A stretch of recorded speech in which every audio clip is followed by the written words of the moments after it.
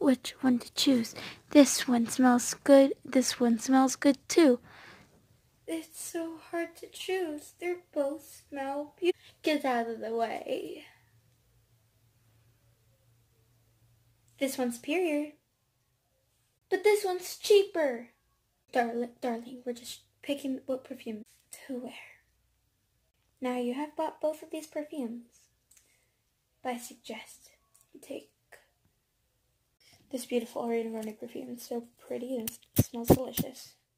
But what about this one? It smells delicious too. Look. It smells delicious and it's much cheaper.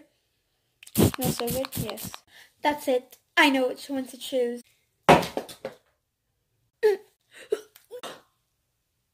This is the most superior scent. It's not even perfume.